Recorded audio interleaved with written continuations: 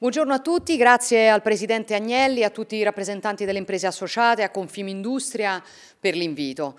Chiaramente mi dispiace non poter essere fisicamente con voi, però ci tenevo comunque a farvi arrivare il mio saluto e il mio contributo.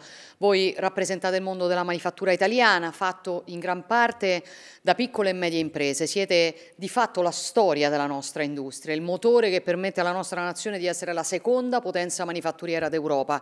Incarnate un binomio vincente ambiente, famiglia e fabbrica, una peculiarità tutta italiana che vuol dire eccellenza, tradizione, innovazione, ricchezza per i nostri territori. Siete un valore aggiunto per tutta la nazione, un patrimonio che va preservato, va valorizzato in un tempo di grandi trasformazioni, di cambiamenti che sono epocali nel modo di produrre, nel modo di lavorare, nel modo di investire. Io Penso che compito del governo debba essere quello di accompagnare le piccole e medie imprese nelle sfide di questo tempo, fornire loro gli strumenti per liberare al massimo il loro potenziale.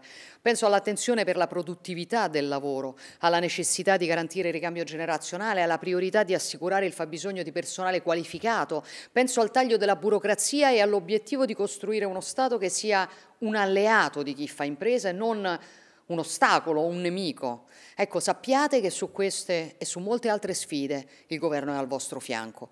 Lo abbiamo dimostrato in questi due anni e ci impegniamo ovviamente a farlo per i prossimi, a partire dalla nuova legge di bilancio. Una manovra ispirata al buonsenso, ispirata al pragmatismo, che concentra le risorse a disposizione per sostenere le imprese che assumono e creano posti di lavoro e per rafforzare il potere d'acquisto delle famiglie.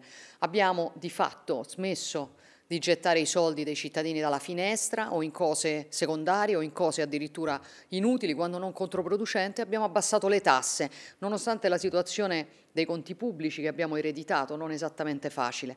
Abbiamo reso strutturare il taglio del cuneo fiscale, abbiamo esteso l'esonero contributivo per le mamme lavoratrici con almeno due figli, anche alle, alle lavoratrici autonome e abbiamo rinnovato la detassazione dei premi di produttività e dei fringe benefit. Abbiamo confermato la superdeduzione del 120% del costo del lavoro per le nuove assunzioni e scelto di rifinanziare la nuova Sabatini portando il fondo per il 2025 a 607 milioni di euro e incrementando le risorse fino al 2029.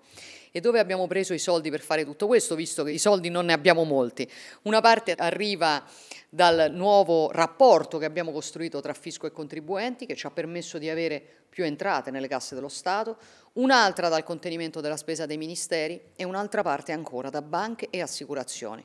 È una cosa che nessuno aveva avuto il coraggio di fare finora e che rappresenta una grande novità rispetto al passato. Quindi, caro Presidente Agnelli, carissimi imprenditori, un grande italiano come Adriano Olivetti diceva che la fabbrica non può guardare solo all'indice dei profitti, deve distribuire ricchezza e cultura, servizi, democrazia. Diceva io penso la fabbrica per l'uomo e non l'uomo per la fabbrica.